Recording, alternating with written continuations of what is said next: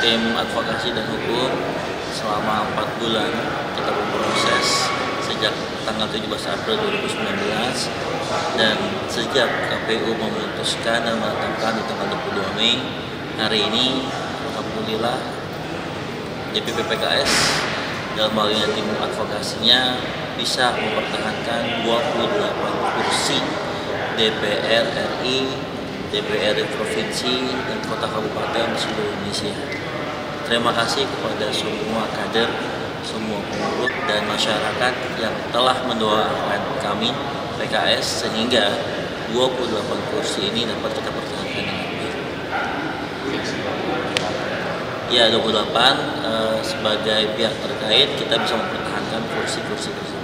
Bisa ini terdiri dari berapa DPR RI? Untuk DPR RI Alhamdulillah kita bisa mempertahankan di eh, DPR RI Banten 3, Dapil Banten 3, lalu eh, DKI 2, eh, kursi kedua kita, lalu eh, kursi DPR RI di Sulawesi Tengah, dan terakhir di Maluku.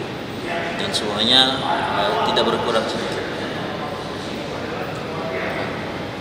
Pertama kalinya pemilu serentak pilek dan pilpres apa catatan khususnya? Ya kita sedang menyusun fakta-fakta persidangan dan akan memberikan rekomendasi terkait masalah proses persidangan di Mahkamah Konstitusi dengan kan ada banyak catatan-catatan kami eh, dari bicara masalah regulasi eh, lalu apa namanya fakta di persidangan dan lain sebagainya sehingga kita berharap membuat keputusan nanti dalam hal ini Komisi 2, Komisi 3 DPR RI bisa menindaklanjuti rekomendasi dari kami agar ke depannya Mahkamah Konstitusi bisa lebih baik lagi dan lebih bijak lagi dalam mengambil keputusan dan eh, melihat fakta-fakta persidangan tanpa harus apa mengabaikan dari putusan Bawaslu.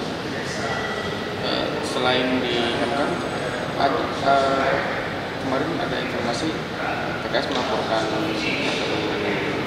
DPR Bantu ke DKPP Iya proses proses yang proses yang terjadi eh, di Mahkamah Konstitusi tidak meniadakan proses yang sudah kita lakukan ini litigasi di eh, DKPP dan eh, lainnya.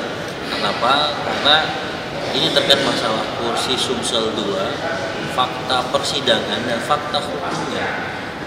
Sumsel 2 sudah mendapatkan keputusan dari Bawaslu dan eh, terkait masalah penyandingan dan telah keluar juga berita acara dari KPU Kabupaten Matrawang dan juga Provinsi yang intinya memenangkan PKS tetapi putusan tersebut diabaikan oleh Mahkamah Konstitusi.